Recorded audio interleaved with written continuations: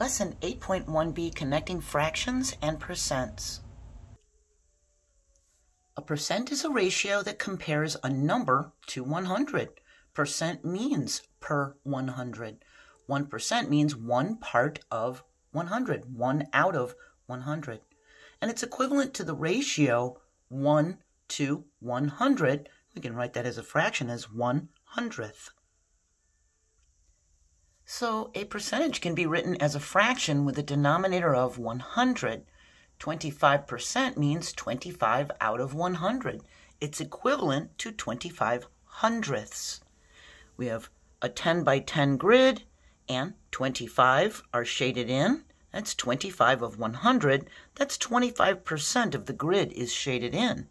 And we can simplify 25 hundredths by dividing by the greatest common factor, 25, and we see it's equal to 1 fourth. That tells us 1 fourth is equal to 25%. We can use a percent bar model to model the ratio 1 to 2 expressed as a fraction as 1 half and find an equivalent percent.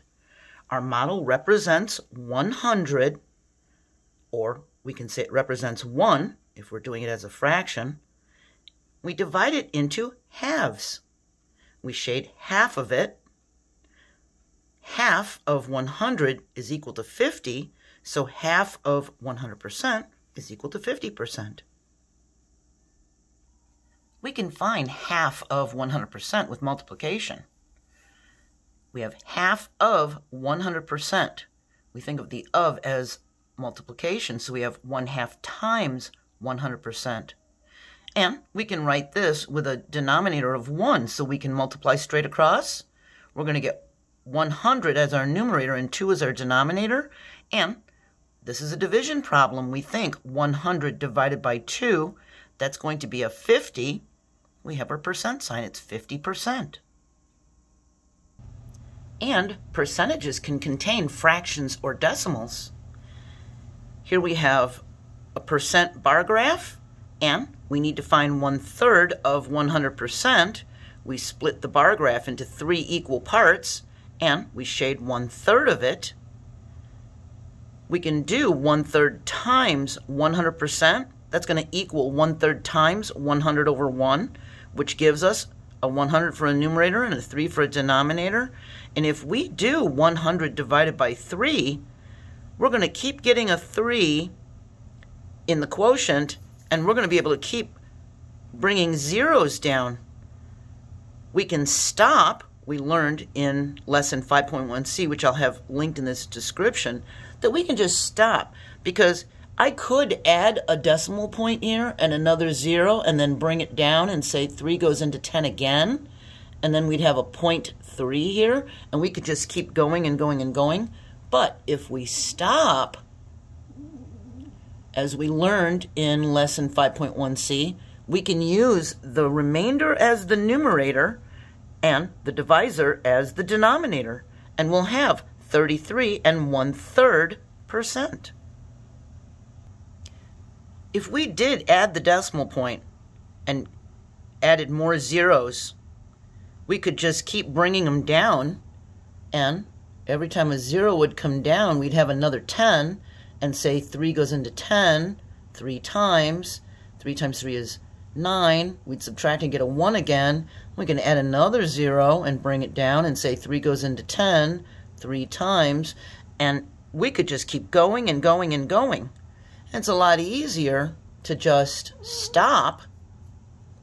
And if we have the same number repeating, we can just put a bar over the top of that. We're going to learn more about decimals in percentages in lesson 8.2. So you may have seen this sign before if you watch my videos. There can be more than one way to solve a problem, but one way is usually easier than the other.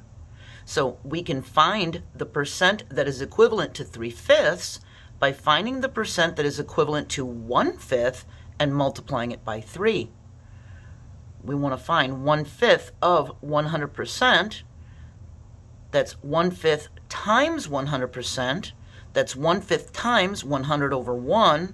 which is equal to 100 over 5. And 100 divided by 5 is 20. That would be 20% for 1 fifth. Now we just multiply this by the 3 because we had 3 fifths. That would give us 20 times 3 is 60, so that's 60%.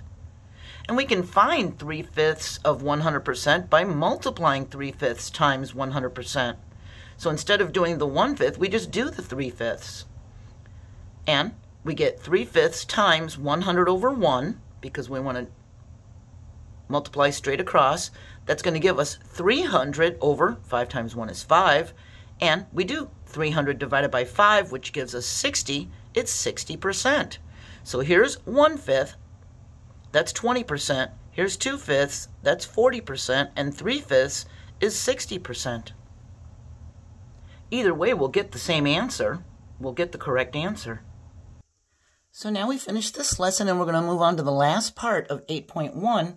We're going to talk about using benchmarks and proportional reasoning. Do you remember working with benchmarks in fourth and fifth grade?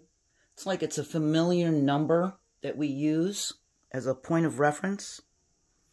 So, I hope you'll join me for next time, and I hope you have a really nice day. Bye.